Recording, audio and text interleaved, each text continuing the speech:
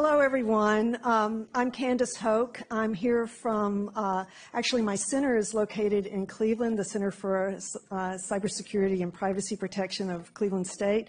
Um, I'm happy to be with you with three fine litigators who are at the forefront of establishing new uh, legal rights for accountable, uh, verifiable, secure elections. Uh, they are working primarily in South Carolina and um, in Georgia right now, but the cases that they are fighting uh, will have impact for the entire nation. Um, you should be assured, first of all, that they know they are not speaking to lawyers. They plan to address us all as lay people who are um, highly uh, educated and concerned about election integrity, but not well versed in law and legal procedure. We will not be dealing much at all with the nuances of cases, but we do want to be able to talk with you about what's at stake. Um, this morning's speakers um, provided you with frank assessments of U.S. election insecurity, some of which you already knew, but they dug our hole uh, deeper.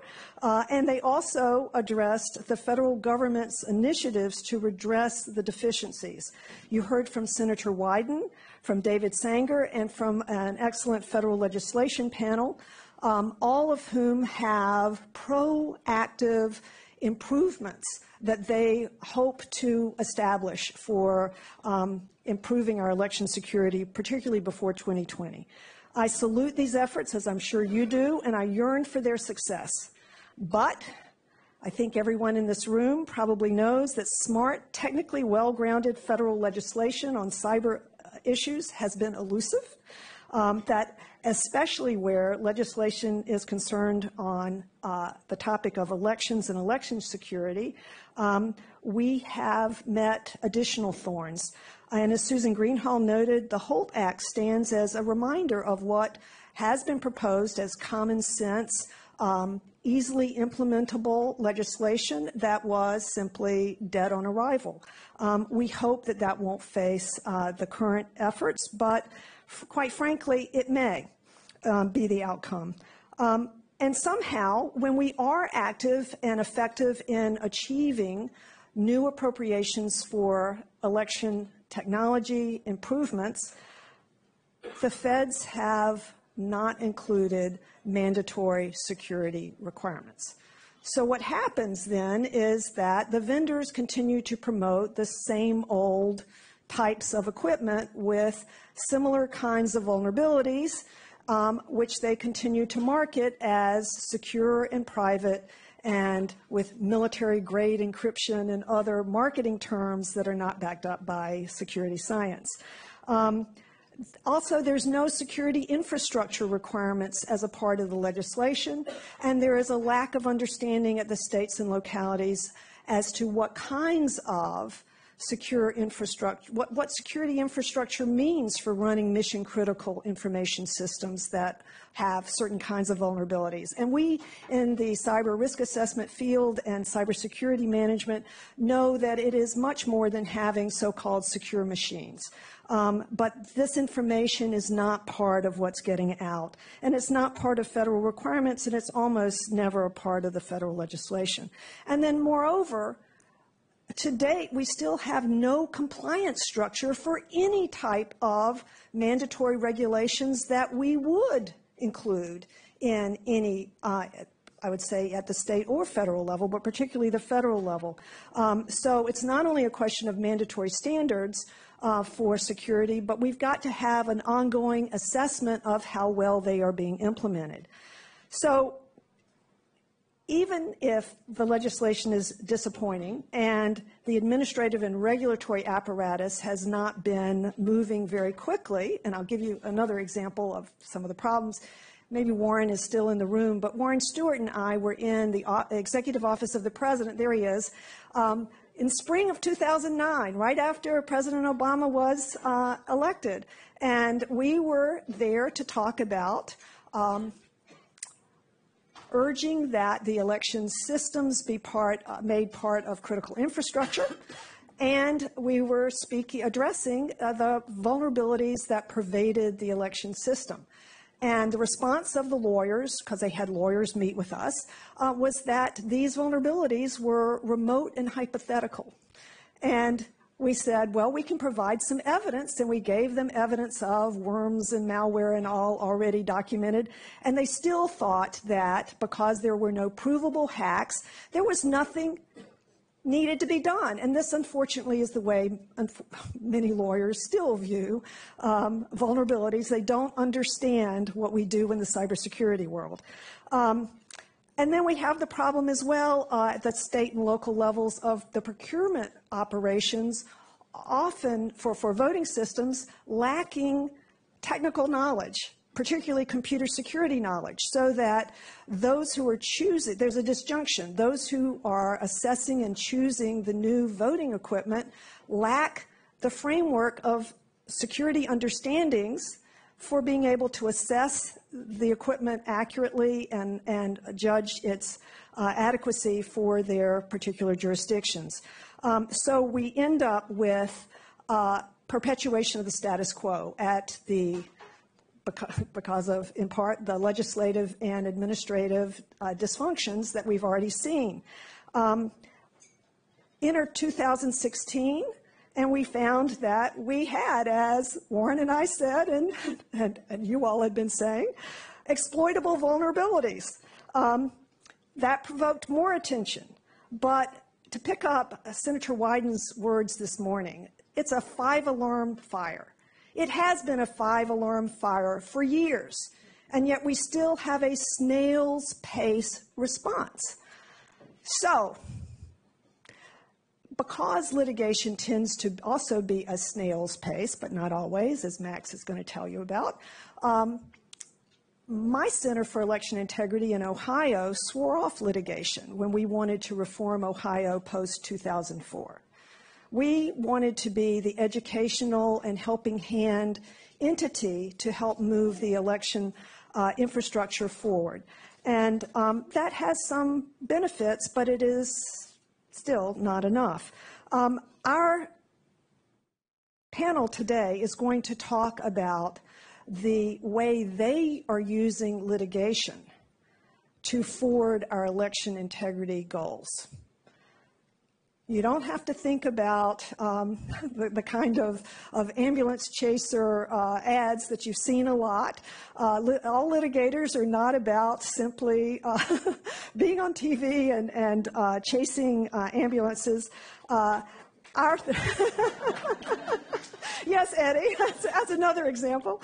Um, we have litigation play, can play an important role, but it needs to be in the hands of highly informed, very strategically adept attorneys who also know how to ally with the technical experts that are needed for uh, a technologically intense area like ours. And I'm happy to report that the gentlemen that you see here today are examples of attorneys who do this.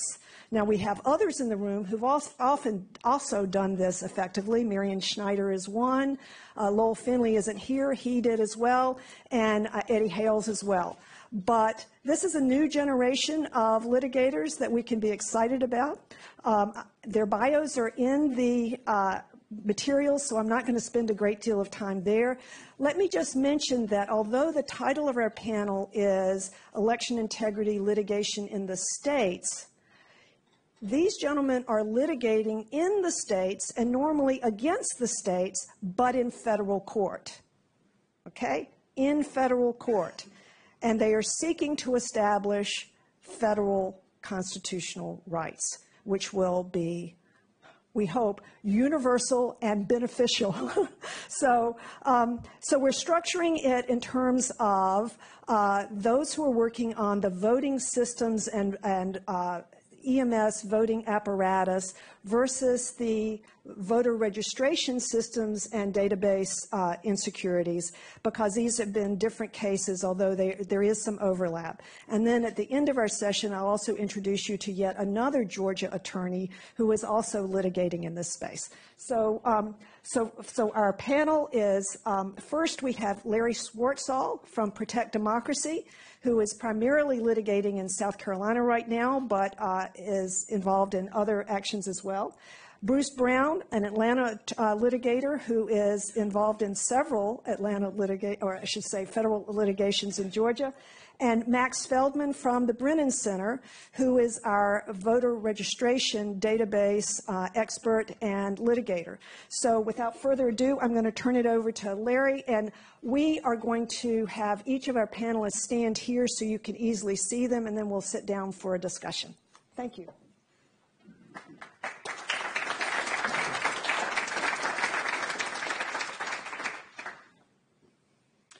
Thank you, Candace, and thanks to everyone involved in um, organizing this conference and for inviting us to participate in this discussion.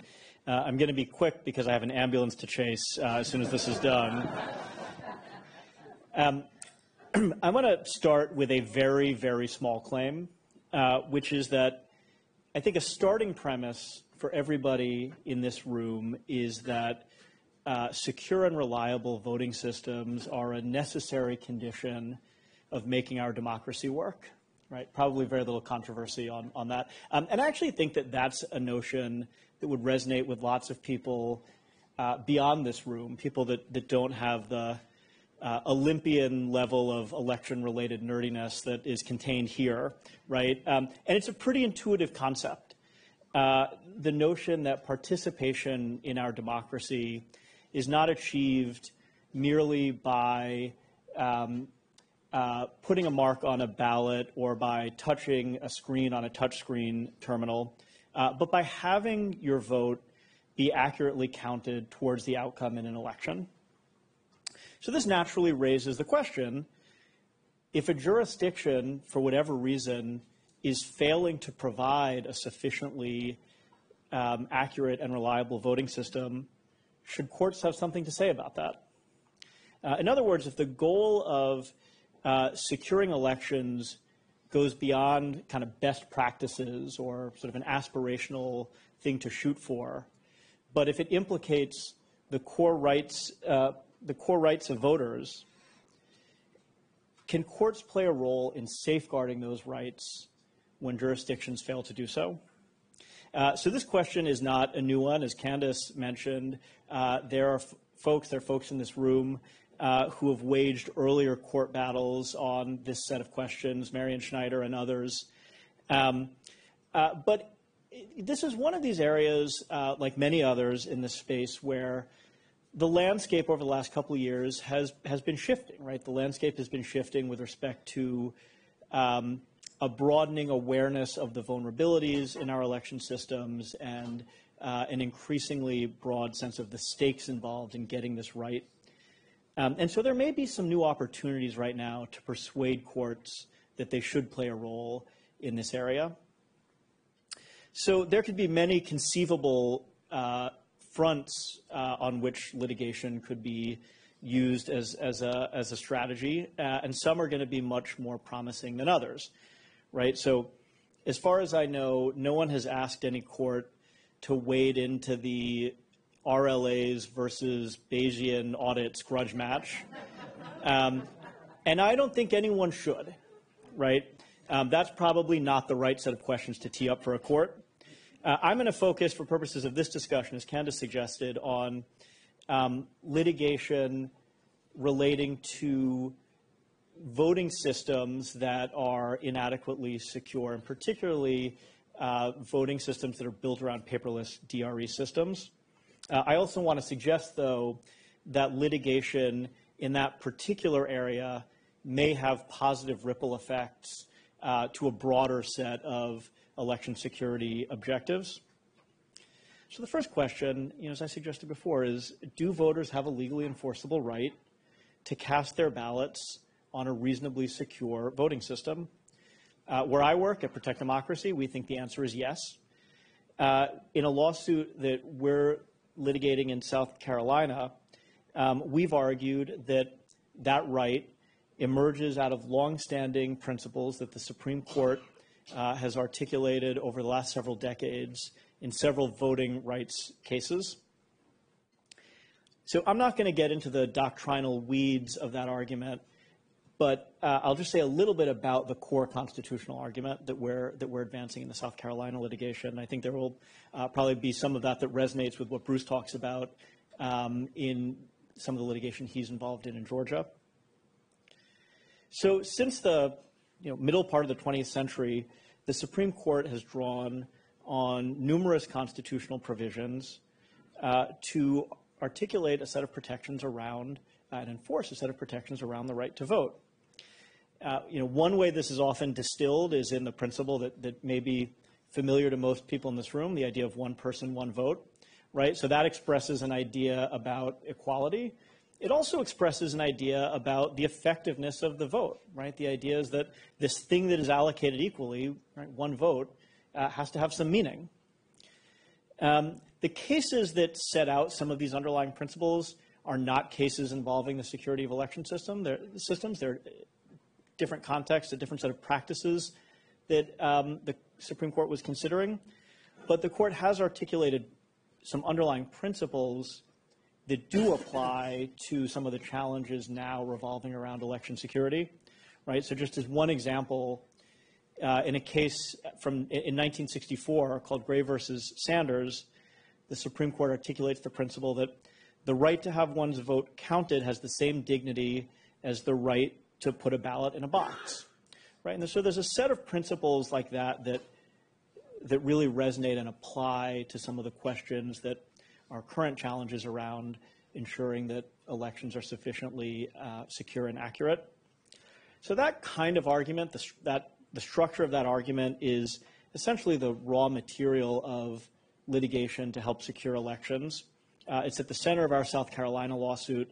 In that litigation, we represent two South Carolina voters. Um, uh, one is a, uh, a lifelong Republican uh, and also a longtime activist on election security issues. Some of you uh, know and have worked with him, Frank Heindel. Um, Duncan has worked closely with Frank. Um, the other is a lifelong Democrat and former state senator named Phil LeVentis. Um, and the argument we're making is that South Carolina's state election commission is failing to provide an election, a, a voting system that is sufficiently reliable to protect their right to cast an effective ballot. So in advancing that argument, we, uh, we, we, ground the argument in a pretty granular story about the deficiencies pervading South Carolina's election system. Uh, and uh, in order to support the argument that in combination those deficiencies uh, make that system unreasonably vulnerable, that it falls below a constitutional baseline. Um, and again, I, am not going to get sort of deep into the details, but, but broadly, we draw on a few different strands. Most fundamentally, we highlight the vulnerabilities that are embedded in the voting system used in South Carolina. So throughout the, the South Carolina, across the state, uses uh, the ES&S iVotronic system, uh, so beyond some of the inherent vulnerabilities with using a paperless DRE system, there's a version of the iVotronic that has a VVPAT. The ones used in South Carolina do not, so it's a paperless DRE system. Uh, beyond those inherent deficiencies um, from an election security perspective, uh, as many of you know, the iVotronic system has been subject to uh, numerous uh, studies by, by experts in computing security and election security, uh, and it hasn't held up very well to that scrutiny. Uh, so most significantly, this was one of the systems that was examined in the Everest report uh, commissioned by the Secretary of State in Ohio and released in 2007. Uh, I don't know if people have had opportunity to return to the Everest report in recent years. It's a, it's a sobering read. Um, you shouldn't read it before, you know, it shouldn't be nightstand reading because uh, it's, it's a pretty sobering read. Um, we draw extensively from that report and other reports studying the iVotronic system to convey to the court that there are deficiencies in the architecture uh, as well as the firmware of that system that create numerous pathways to, um, to either to a hack or, also, or to mechanical failure. Um, but we, we especially highlight the, the vulnerabilities to uh, malicious attack. Those inherent vulnerabilities are exacerbated by failings in network security related to state election systems, both at the state and county level. Um, one of our uh, clients in the case, Mr. Heindel, uh, in addition to being uh, a longtime activist on election security, is like a South Carolina FOIA warrior, um, and he's been very successful at using South Carolina's public records law. Uh, and, and he has, through that process, um, uh, brought to the surface reports by DHS and by the South Carolina National Guard, uh, particularly in the run up to the 2016 election, um, highlighting some of those deficiencies. So those reports are heavily redacted, but one thing that you can tell from even the redacted copies is that there are uh, there, there, were a number of high level and critical level vulnerabilities uh, relating to the um, network security surrounding the election system. Um, and you know, finally, we highlight the lack of the of any sort of meaningful audit procedure. Uh, this kind of follows from the fact that they're using a paperless DRE system. Uh, the state doesn't purport to have any meaningful audit provisions, and they couldn't because they don't have the equipment to support it. And so our core argument is that all of those considerations, particularly when viewed through the lens of the current threat environment, create a system that doesn't meet that constitutional baseline of providing a sufficiently reliable and accurate voting system for our clients to vote on. Uh, so the South Carolina litigation is ongoing. I should mention um, uh, it, it, recently suffered a, a pretty significant setback. Um, so in January, the trial court ruled that our clients lack standing to uh, to litigate the claims that I just described, um, and the court's main view um, uh, was was that the risk of the election system failing for due to a, uh, an attack or any other reason was too speculative uh, for our clients to be able to litigate those cases. Um, so, so in some ways, uh, you know, an, an, echo of the uh, the feedback that Candace described even back in 2009. Um, we think the court was wrong about this. Um, uh, we think that the um, the allegations we're making and under sort of the relevant legal standards are sufficient for this case to go forward. And so we're in the Court of Appeals now and continuing to press these claims. Uh, the setback is, is, I think, a good segue for what I think is maybe the main takeaway here, which is that litigation in this space presents um, significant opportunities, but also has um, uh, significant challenges. Uh, so I'll just say quickly a little bit about the, some of the opportunities. The most obvious one is that it provides one potential route uh, to winning important reforms. Right? Courts are never going to be the primary decision makers about how to administer elections, and they shouldn't be. But when a jurisdiction, for whatever reason, is maintaining a deficient system, failing to provide a sufficiently uh, secure and reliable system, and it can't get its act together to improve that system on its own, courts may offer a path to, to change in those jurisdictions.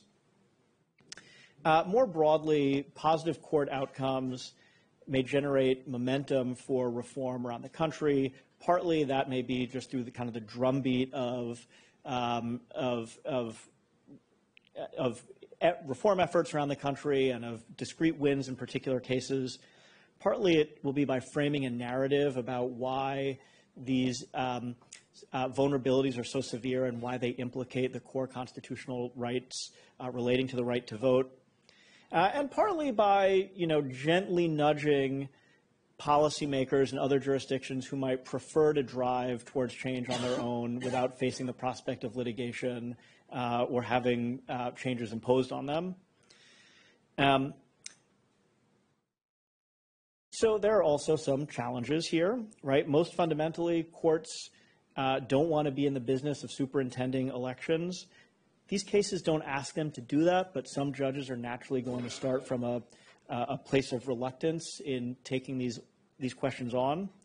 Uh, related to that, before you can get into a position of arguing about fancy constitutional principles or the nuts and bolts of any particular jurisdiction's voting system. You have to face a thicket of procedural, uh, sort of threshold procedural questions that any litigation will have to machete its way through, right? So these are questions like, do the plaintiffs have standing to raise their claims? Um, who are the right defendants to bring these kinds of cases against? Um, have the threats involved materialized such that the issues are sufficiently ripe for courts to resolve? Um, and time is not on our side, right? So um, litigation, the natural tendency of litigation is to move slowly. Um, there are sometimes some techniques to get litigation to move more quickly, but litigation tends to move slowly. Election cycles uh, keep coming one right after the other. As everyone knows, 2020 is around the corner, and there's, there's sort of no rest for the weary uh, in terms of the election cycle. So, so the timing can be a challenge. So, you know, I've said a few times litigation is a tool, and it's just one tool. And so, as with any tool, it's good to keep in mind the old saying about uh, people with hammers seeing nothing but nails. Um, most of what needs to be done to make America's election systems as secure and reliable as they should be is not going to be achieved by courts. Uh, but building a system that is effective and secure implicates rights held by every American voter. And so courts should have something to say about that, and we should all be thinking about how to use courts as one tool in our collective toolbox. Thank you.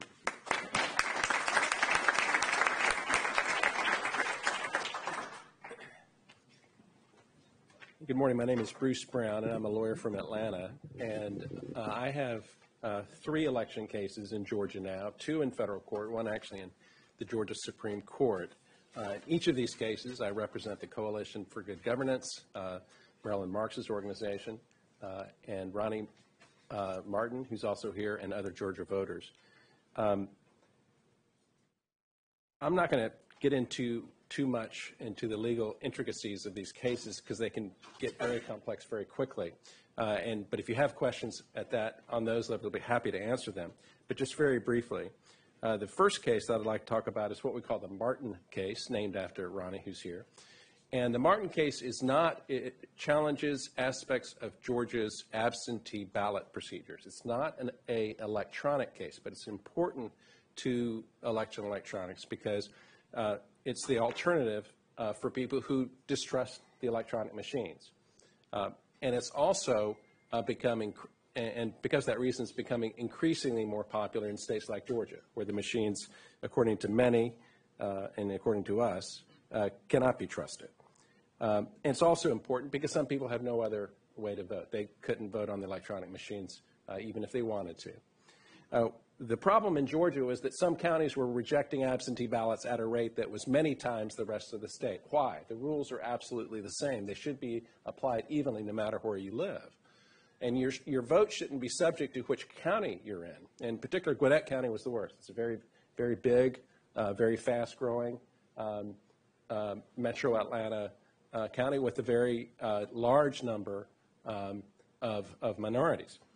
And in Gwinnett County, there were five times uh, the rejection rate as other counties. So we sued, uh, focused on Gwinnett County, uh, and we actually won. This was one of the, the uh, cases that we can actually score a victory in. I, I, say we won. We, we won in substantial part. It's still ongoing, and we, and we anticipate complete victory.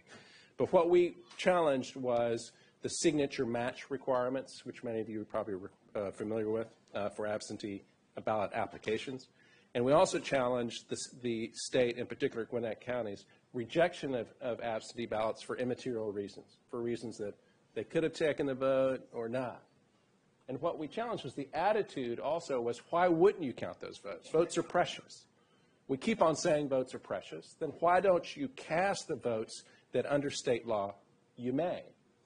And so our, our continuing riff in the case is that if you may cast the vote, these absentee ballots under state law, under federal constitutional law, you must. And so far, that's been a winning argument. Um, the, the, litigation may be overtaken a little bit by uh, legislation. Um, one better part of the current the the, the uh, litigation is, I mean, the the the recent legislation uh, is that it's fixed and improved some of the ways that Georgia handles absentee ballots. The, the second case that I'd like to talk about is what we call the, the curling case, which you may have heard about. This is in front of Judge Totenberg in Federal uh, District Court in Atlanta. Uh, the curling case was filed in 2017. It is a broad-scale attack uh, on the DRE machine use in Georgia. Uh, and the history of it is very complicated about how it started, but I'll start with uh, the fall of 2018 when the, the criticisms and the warnings to the state of Georgia got, got again to a fever pitch. Uh, and so, right at that moment, uh, we filed to stop Georgia from using the electronic machines in the general election in 2018. Uh, we tried the case. Uh, we, we, we ultimately lost uh, on the injunction to have Georgia switch to paper ballots for that election, but there's many good things that, that came from that trial. The trial um, was just a day, I guess, maybe, a, was it a day, a day and a half, just a day, uh, and featured expert testimony uh, from, from Matt Bernhard and from Alex Halderman and Rich DeMillo, all who were here. Uh, and it was, it was outstanding. The, what the judge ruled was, and this is one of the challenges of litigation, was that although we were probably right in terms of the merits of our case, that in her estimation, that switching over to paper ballots that late in the process might cause more harm than good. And, and under federal law and most states' law, if your equitable relief may cause more harm than good, then you're not going to get it, even if your underlying claim is meritorious. But importantly, she uh, ruled and wrote extensively about how strong our claim was on the merits, in large part to the excellent work we got from our experts. And she said over and again how fundamentally vulnerable Georgia's current DRE uh, system was. Now, um, like I said, where, is, where are we now in that case? There's a several month um, gap because the state, uh, we, we prevailed before Judge uh, Totenberg on some preliminary uh, standing and, and jurisdictional issues. They t- took it up to the Court of Appeals. The Court of Appeals affirmed Judge Totenberg's ruling on the procedural issues, so we're back down and we're right now just um, the case just came back down from the Court of Appeals. So right now we're going to go into discovery, uh, and we hope to actually get discovery of the uh, DRE machines, something that's never happened before. To actually look inside them, look at the programming, look at the GEMS database, and actually see what's going on and what's what's driving these systems. Uh, that could be a fight. Uh, could be a fight with the vendors. Certainly will be a fight with the state. Uh, but we think with the uh, with the momentum of Judge Totenberg's opinion and with other elections coming up. We're not, it's not just 2020. There's important elections between now and then. They're not as big as 2020, but those votes count too. And so we may, um, we're going to insist that um, those elections, although not as big, be treated just like the big elections uh, accordingly. Uh, in addition, there's the, there's the new legislation that was passed or, or was passed by the Senate yesterday I'm not going to get into that, but that could also enter into the litigation as well. Uh, because Judge Totenberg, in, in her order, um, made it very clear as to what she believed were the constitutional minimals uh, for, a, a, for a system. And some of these uh, observations are important for other reasons. I'll just, I'll just read them to you because they're very good.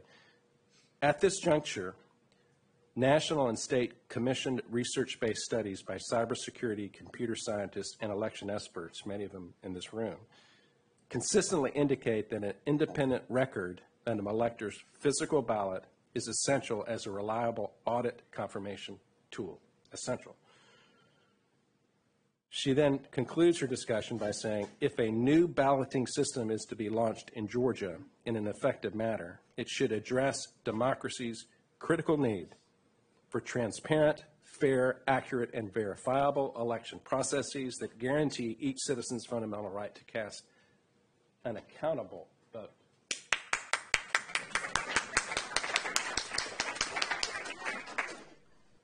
So uh, we think that that um, decision um, will be very important for other cases, uh, a good case for other people to cite. We hope to conclude it and to get permanent relief uh, as soon as we can. Uh, the third case that I'm working on is, a, is another interesting case. Um, it's actually in state court because it is an election contest. Uh, and this is what we call the lieutenant governor's case. the, um, and it was filed after the 2018 election. And what happened with uh, the race is that, as, as you all know, I'm not a, I'm not an election, I don't, I am now, um, stayed in Holiday Inn Express, I'm now an election lawyer, uh, but not my entire career. But as you all know, um, there is a predictable pattern of drop-off from the top of the ticket to the bottom of the, to the bottom of, of the ticket. And this established pattern, like in Georgia, if you voted in 2018, you voted for governor. Um, It was a very high-profile election, and so the voter participation rate for governor was 99.9%, I think. Almost everybody voted uh, for governor. And then skip the lieutenant governor, I'll come back to that okay? In the third ballot, it was also predictable. Third race, it was also predictable at about 98.5% for Secretary of State. And on down, you had a, this is, this is on all the ballots, electronic and paper. And all the way down, you had a very gentle and, and really minor uh, drop-off to about 98%. However, in the lieutenant governor's race, which is the second ticket, a very important rate, uh, uh, position in Georgia, it went all the way down to 95.5%, uh, a 4.5% uh, drop off, which is four times the historical average.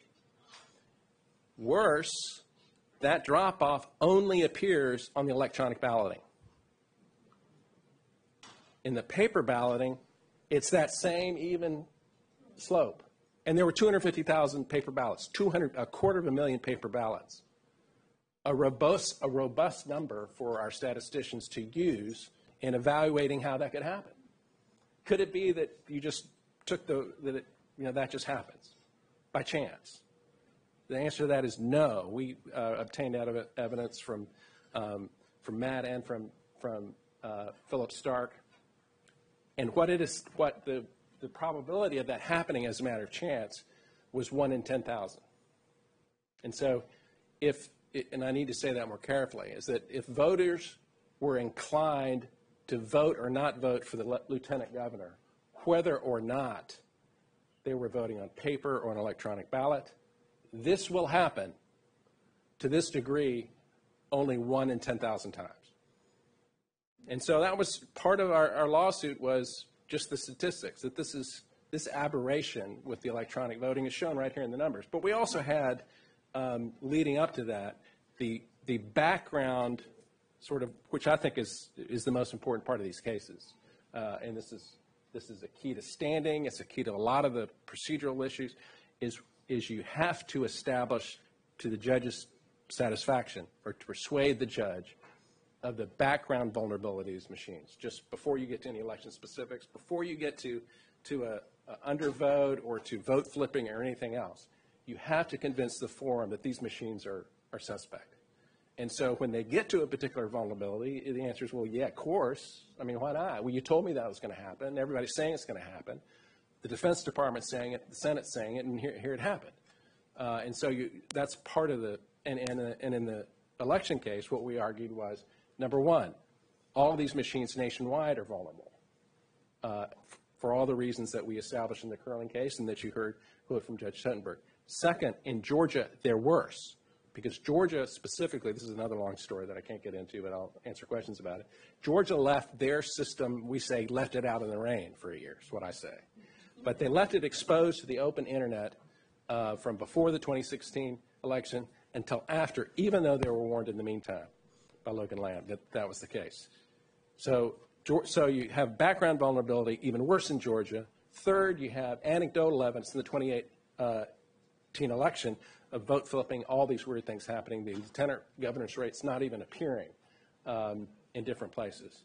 And then you have this, and then finally you have this aberrant vote total that I, that I described. And so you put that all into it, and what we argued was under state law that ca- that casts enough doubt on the election to cause a new election. Worse still, uh, if you get to the precinct level, the, the aberrant voting total shows that it had a disparate impact upon precincts with a majority African American population. You put all this together, and we rolled it up and did not convince the trial court. Uh, and um, we're on appeal to the Georgia Supreme Court. So you can, you can see the difficulties in litigating some of these cases, even with some compelling facts. The problems there was the judge started off with the presumption that this was safe, that these systems are safe. Prove me otherwise. Prove to me otherwise. We didn't get discovery of these machines, which we hope to get in the federal court case. But prove to me that these machines are unsafe. You can't look at the machines. Two, okay, you lose, and, and then we lost. So our appeal to the Georgia Supreme Court is to say you can't require, you can't not allow us discovery and then throw us out of court for not proving what, what only discovery would provide. So that's the basis of our Georgia Supreme Court uh, appeal, which is currently ongoing. Um, so to sum things up, um, in terms of sort of the the success, the keys to success, I guess, in, in these cases, um, it's the the ground level work is is extremely important uh, in these cases. Um, the Martin case was successful, I believe, in large part because the coalition, working very closely with uh, the lawyers committee, found actual voters whose absentee votes had been rejected, and we added them as named people three actual people, and we told their stories. You know, so and so was 70 year old immigrant, tried to vote. His absentee vote was rejected. He went back into the county. It was rejected again. This sort of very human story that took, that I think was very persuasive, and, and I think it really helped us win. Uh, other examples is the is the precinct level research uh, that that the coalition's uh, people did uh, on the uh, on the undervote case was, uh, well, I think it will be very instructive. Um, the other thing I think is obvious is that um, with election cases, a lot of the work has to be done in the off season. Uh, because it's like reseeding the baseball. In, if you wait too late, it's like reseeding the infield, baseball infield during the season. You can't do it. Too many people running around, too many things happening. It just doesn't work. So you have to do a lot of work uh, in the time, which is now, when you're not having a big election right, out, right around the corner. So now's the time to be, to be, you know, raising money, to be litigating, and to be filing suit if you need to. Um, the other thing is what I mentioned before is, and this I think is going to happen because I'm optimistic, um, is that the is convincing um, everyone, not just politicians, but judges, everybody, that these systems are inherently vulnerable uh, and to start with that so that you don't have to prove that they are, but they have to prove that they're not. And I think that given the states have made the decision, or Georgia has made the decision, to deploy an unaudible, unauditable voting system, they're unable to remove the doubt. That's their problem, not ours. And so the burden ought to shift. Uh, and the more judges understand that, the more they will instinctively, through their decisions, actually affect a, a changing of of the presumption and changing of the burden of proof. Thanks.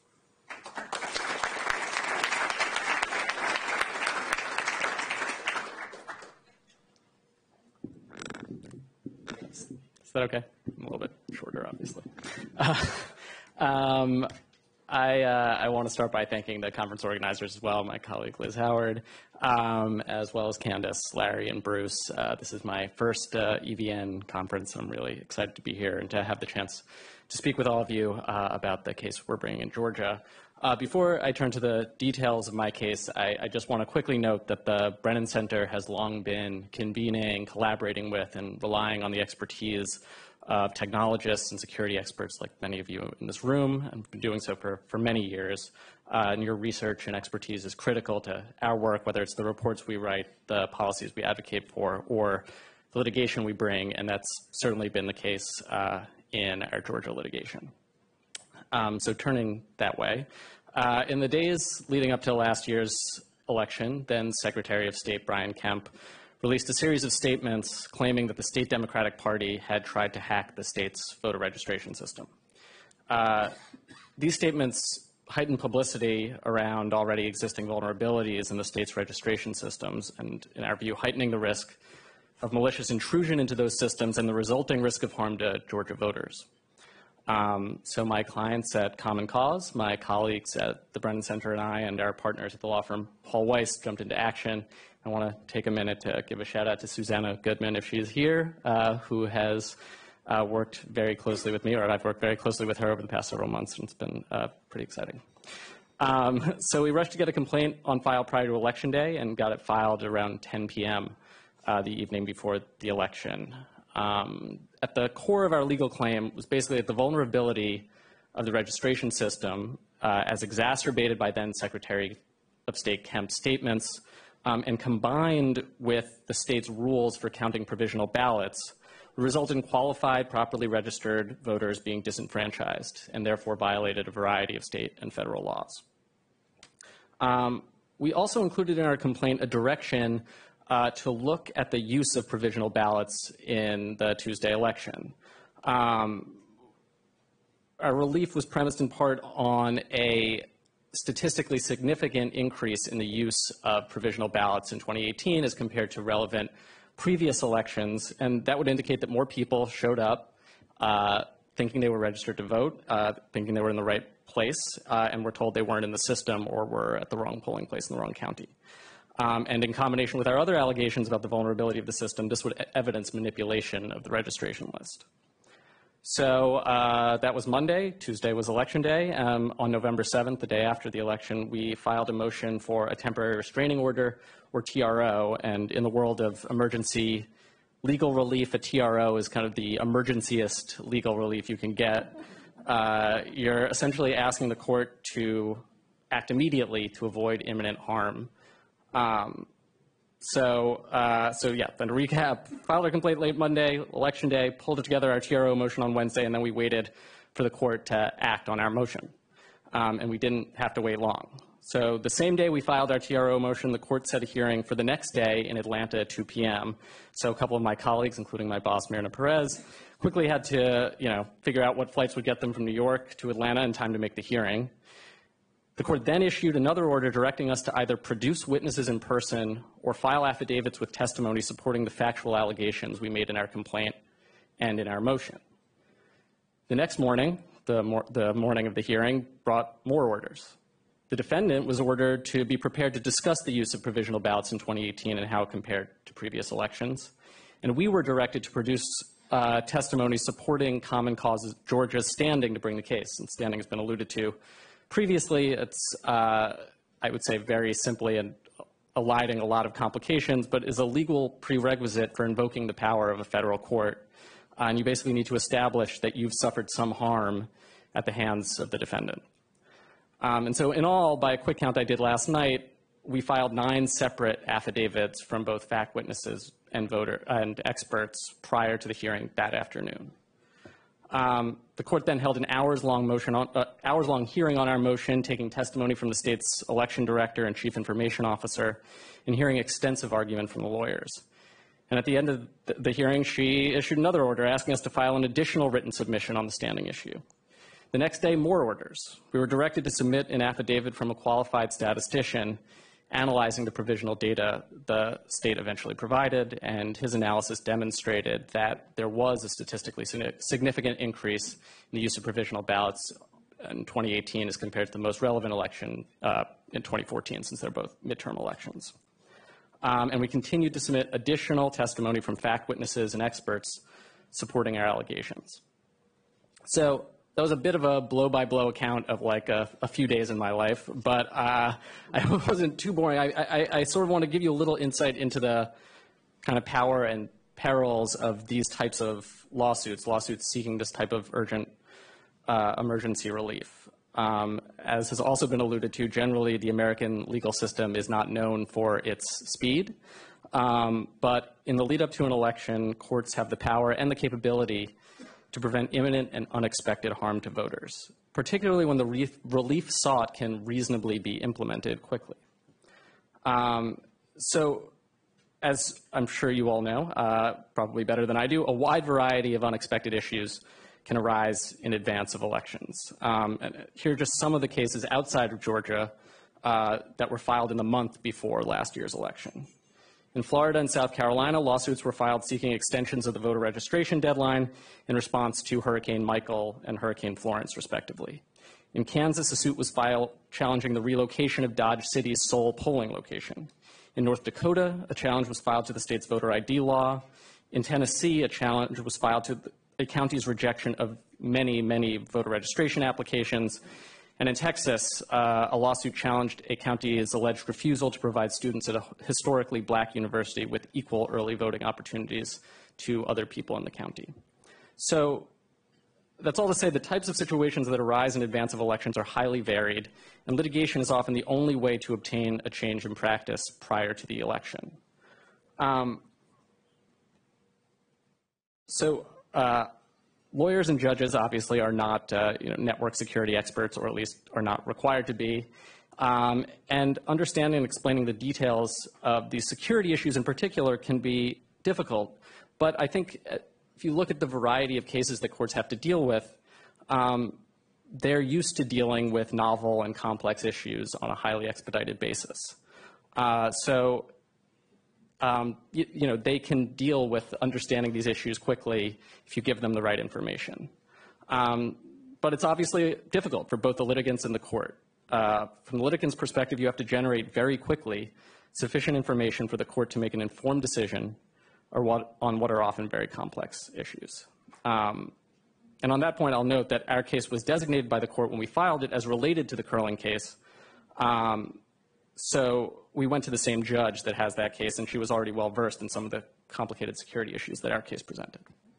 Um, there are just a couple of other takeaways that I wanted to flag before I wrap up. Uh, first, as I'm sure many of you know, uh, registration systems nationwide are continue to be inviting targets for our adversaries.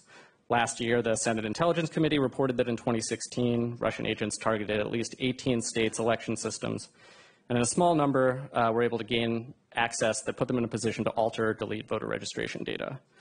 Um, in a report my colleagues Larry Norden and Ian Vandewalker authored in 2017, they estimated that at that time 41 states were then using voter registration databases that had initially been created over a decade prior.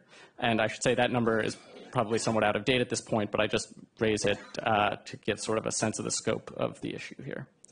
Um, and the second takeaway is that provisional ballots are a critical failsafe in elections, but only if they're counted properly. So in particular, in a situation in which the registration system has been breached, determining a provisional voter's eligibility by reference to the breached registration system alone is inadequate. Um, and election officials need to broaden the sources of registration data that they're reviewing and should also take seriously a voter's sworn statement of eligibility that they submit to, to obtain an, uh, a provisional ballot. So in conclusion, our case is continuing. Uh, we obtained relief um, on November 12th, um, but uh, our, our, case is sort of ongoing. Um, the state answered our complaint last year, and we've proceeded to discovery. So we're in the midst of that. Thank you very much.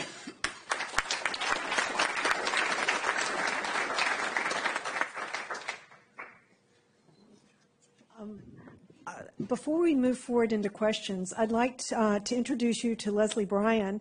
Leslie, could you come up here, please? Um, Leslie is one of the attorneys representing uh, uh, Stacey Abrams' Fair Fight organization in Georgia in uh, additional Georgia litigation.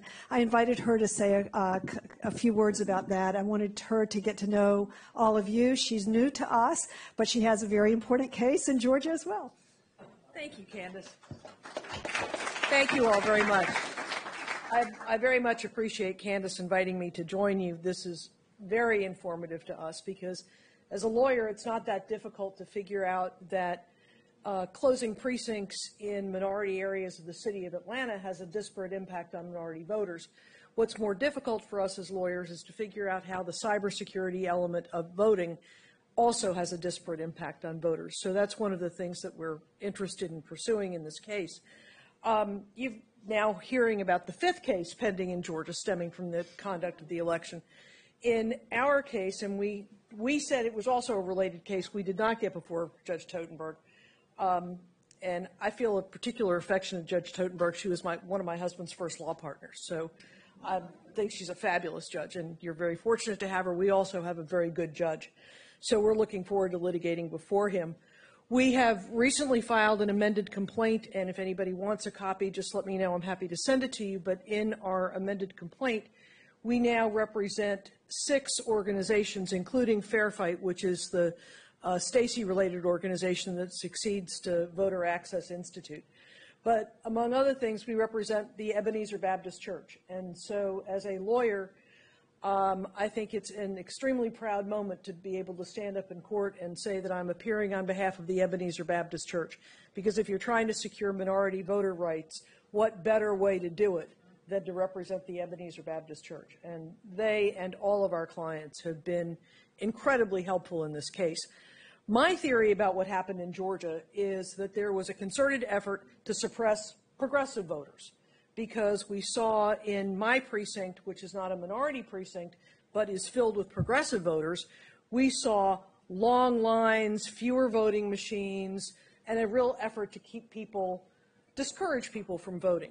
What happened in minority districts is even more telling, and as Bruce talked about, when you look at these numbers from the lieutenant governor's race, they're stark. And Marilyn actually sat down in our conference room and explained to me what had happened and showed me my precinct, and we had an unexpectedly large drop off, but it was nothing compared to the drop off that you saw in minority precincts in Fulton County, which is predominantly the city of Atlanta. So, in any event, in the Fair Fight case, we are pursuing claims for violations of the Voting Rights Act, for violations of the 14th Amendment, for violations of the Help America Vote Act, uh, for due process violations, and we are seeking to change the way that Georgia votes, from whether it's how they treat your application for an absentee ballot to how at the end of the day they deal with your provisional ballot. We are seeking to effect a change. And as I said at the outset, we understand how to do that with respect to the disparate impact that voting uh, irregularities may have on minority populations. But the security piece is a, a relatively new piece when you start thinking about disparate impact on minority voters. Um, we've detailed in our amended complaint some of the issues that minority and racial and uh, ethnically minority voters encountered. One of the stories, there are two stories that I think are particularly telling about what was going on, and these stories are replicated throughout. In one of the stories, Dr. Carlos Del Rio, who holds a chaired professorship at the Rollins School of Public Health at Emory, has a hyphenated last name. His last name is Del hyphen Rio. So that's what his voter registration says, Del hyphen Rio. But the Georgia Driver's License Bureau doesn't have the ability to put in a hyphen. And for many women in this room, you may appreciate the difficulty of being Smith hyphen Jones. The Georgia Driver's License Bureau can't cope with you. And they certainly can't cope with it with any, we haven't figured out a way to say it correctly, but with sort of more non traditional names. And so Dr. Del Rio shows up to vote and he hands him his driver's license, which has no space, no hyphen between Del and Rio. And they say, "We're very sorry, you can't register, you can't vote." Well, Dr. Del Rio, fortunately, was an educated voter and knew how to push back and how to tell them that that was absolutely ridiculous. But in an affidavit that he gives us and he cites in his in, that we cite in our amended complaint, he talks about the impossibility of less powerful, less enfranchised voters when they encountered the same thing. The other story that we tell, and this, this is replicated, and if you don't think there's something wrong with the voter registration system, you just, you're not seeing the data. The data says that people would show up at the polls, they've been registered at the same address for the last six years, and all of a sudden they're being told to go back and vote in some county that they haven't lived in. One of the more telling examples was a vet. And she and her husband checked two weeks before the election, and they see that they're registered to vote at 123 Main Street, and they vote at the Main Street Baptist, the Main Street Elementary School. So on election day, they go to the elementary school, and husband, sure enough, 123 Main Street, come in and vote. Her registration is now showing at some address she has never even lived in on the opposite side of the county. How did that happen? Don't know. But something happened during this election. So we hope as we proceed down this case to rectify it. And I agree, election, lawyers don't solve all problems. There's no question about that. But I will say that lawyers and judges have been at the forefront historically of affecting change, whether it was Katzenbach versus South Carolina, whether it was Wesberry versus Sanders, two cases from the 1960s. Litigation has been at the forefront of ensuring that minority votes are counted, minority votes are tallied, and we hope to be continuing that tradition here and so my question, if I get to ask a question after that rather long-winded introduction, is I'd like you to talk a bit about disparate impact and cybersecurity. and how you see that playing out. Thank you.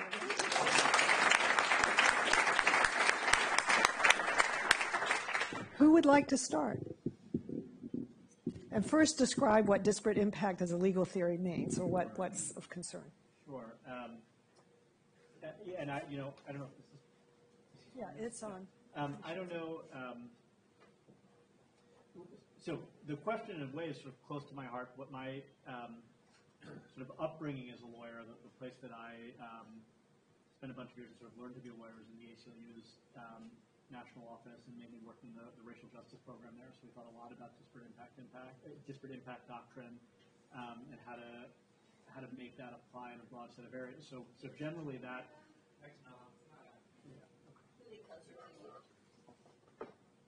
Do we have a techie on, on the mic? How about now?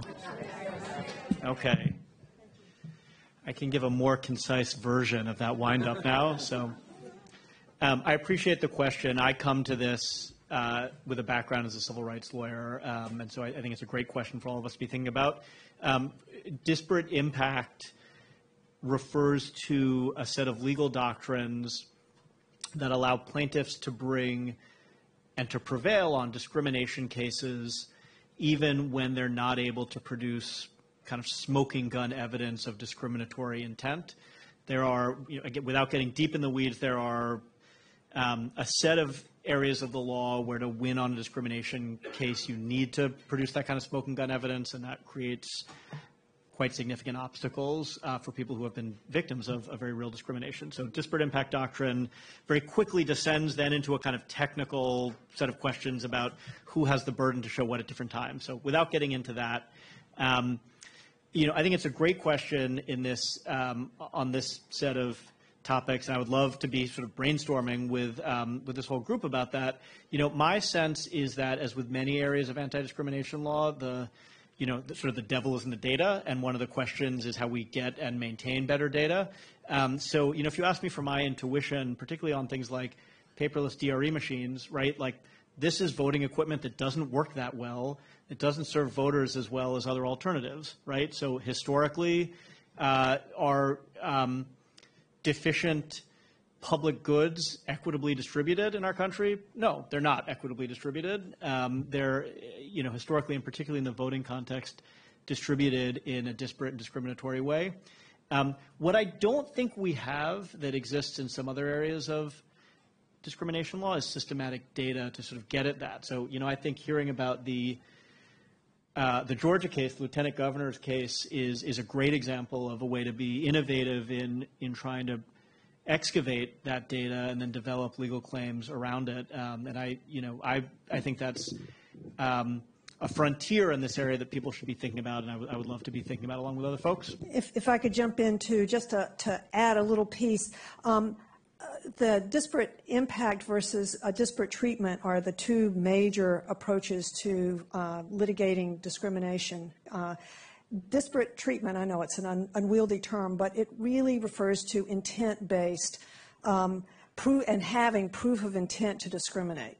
We have a whole nother area, the disparate impact area, where we can rely on data to show, well, if we have sort of, you know, the white precincts have um, a uh, three voting machines for every voter uh, sort of support, and we have over here for the minority precincts proof that there is one voting machine for, or, for every thousand voters, then a presumption of you don't even have to say intent, but we have um, a kind of proof, that rebuttable proof, that there is discrimination. So part of what Leslie's asking and what we need to be thinking about is you know, in the election cybersecurity area, are the machines or the um, the infrastructure for minority voting locations or the apparatus that they use in those, and particularly minority-dominated counties, are they more poorly funded or do they have uh, fewer protections so that their votes are more vulnerable? And I don't think our community as a group has looked at this at all yet. So it's a very important set of issues, and I thank you for raising them, Leslie. And um, so let's turn it over for any other questions. Um, first, um, in the back, Duncan, and then we'll go to Ron and Matt. This is not a question, this is a shout out to Larry of Democracy. You haven't read the complaint, it's brilliantly written. I've been, I tried for several years to think, not a lawyer, how to write this in law. I thought the document that was submitted was absolutely brilliant. If you're interested in Frank Heindel's FOIA documents, he has twice torn up the check that I tried to write to him to reimburse him. He's put in, I think, more than $5,000 to get FOIA documents. Most of them are up on my website. If you want to look at uh, human uh, uh, Homeland Security reports, redacted, they're up on my website. If you want to look at the National Guard reports, they're up on my website. Some of the redactions are done so cleverly that if you know how to lift the black off a PDF, you can see what's underneath. Okay, Ron? Duncan, I- I'll make the transfer of funds that we discussed uh, right after this. Is this on? Yes, good. So I remember reading uh, about the introduction of the Australian paper ballot in the late 1800s, uh, and then remembering the ballot being criticized for being a literacy test, in effect. So it had a, a disparate impact or something like that at the time. Is there any litigation from that period? Did- Is that case actually a parallel one to what happened, what's happening now, or is, am I missing some legal niceties? Anybody know? i don't know. over here. Uh, Two ladies over here.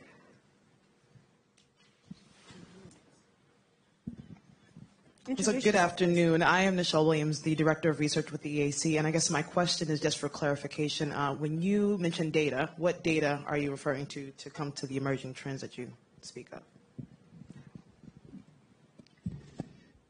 So, you know, what I had in mind was, for example, data, you know, systematic data around the country on um, who is affected by um, the placement, you know, particularly, for example, in states that use DRE machines in some counties and not others, right? Which voters are um, using, for example, DRE machines versus other machines? Um, which voters are impacted by systemic failure of those machines, right? So again, you know, thinking about South Carolina, work that Duncan has done along with with um, with our client